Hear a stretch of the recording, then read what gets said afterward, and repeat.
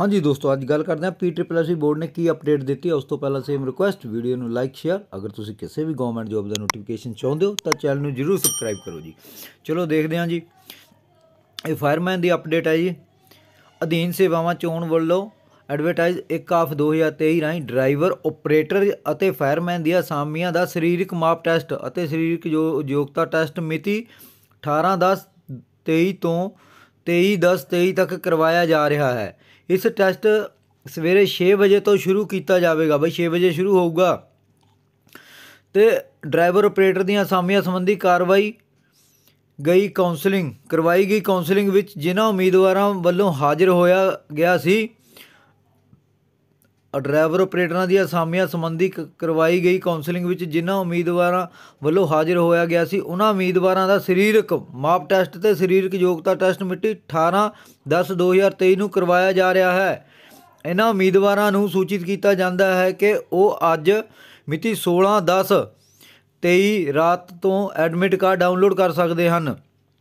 ਠੀਕ ਹੈ ਜੀ, ਫਾਇਰਮੈਨ ਦੀਆਂ ਅਸਾਮੀਆਂ ਸੰਬੰਧੀ ਜਿਨ੍ਹਾਂ ਉਮੀਦਵਾਰਾਂ ਦੀ ਲਿਖਤੀ ਪ੍ਰੀਖਿਆ ਵਿੱਚ 77.04 ਜਾਂ ਇਸ ਤੋਂ ਵੱਧ ਨੰਬਰ ਹਨ E EWS ex serviceman general, self ESM BC self, ਠੀਕ ਹੈ E ESM SC MB self, ਤੋਂ ਇਲਾਵਾ ਬਾਕੀ ਕੈਟਾਗਰੀਆਂ ਦੇ ਮੇਲ, ਉਮੀਦਵਾਰਾਂ ਨੂੰ ਸੂਚਿਤ ਕੀਤਾ ਜਾਂਦਾ ਹੈ ਕਿ ਉਹਨਾਂ ਦਾ ਸਰੀਰਕ ਮਾਪ ਟੈਸਟ ਅਤੇ ਸਰੀਰਕ ਯੋਗਤਾ ਟੈਸਟ ਵੀ ਮਿਤੀ 18/10/23 ਨੂੰ ਕਰਵਾਇਆ ਜਾ ਰਿਹਾ ਹੈ। ਉਹ ਉਮੀਦਵਾਰ ਵੀ ਅੱਜ 16/10/23 ਰਾਤ ਤੋਂ ਐਡਮਿਟ ਕਾਰਡ ਡਾਊਨਲੋਡ ਕਰ ਸਕਦੇ ਹਨ। ਠੀਕ ਹੈ ਦੋਸਤੋ?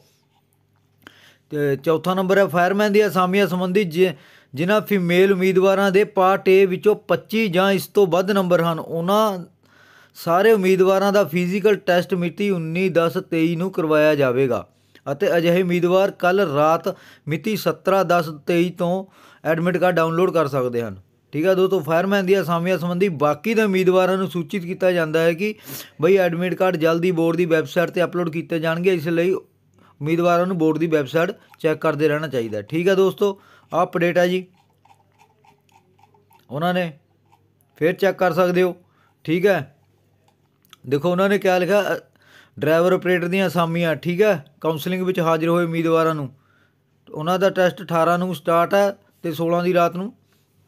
ਐਡਮਿਟ ਕਾਰਡ ਡਾਊਨਲੋਡ ਕਰ ਸਕਦੇ ਆ ਠੀਕ ਹੈ ਦੋਸਤੋ ਤੇ ਫਾਇਰਮੈਨ ਦੀਆਂ ਅਸਾਮੀਆਂ ਸੰਬੰਧੀ ਇੱਕ ਵਾਰ ਫਿਰ ਦੇਖ ਲਓ ਲਿਖਤੀ ਪਰ 77 ਜਾਂ 77 ਤੋਂ ਵੱਧ ਨੰਬਰ ਹਨ ਠੀਕ ਹੈ